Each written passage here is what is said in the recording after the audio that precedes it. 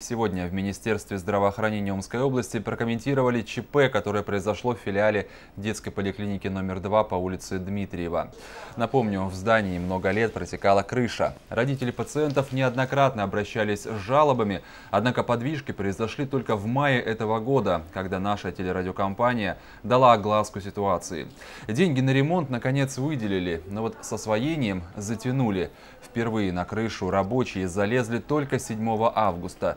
Старое покрытие снять успели, а положить новое нет. Вода от обильных дождей полилась прямо в здание и затопила его. Как утверждают в министерстве, причина в халатности подрядной организации. Так ли это на самом деле, сейчас выясняют.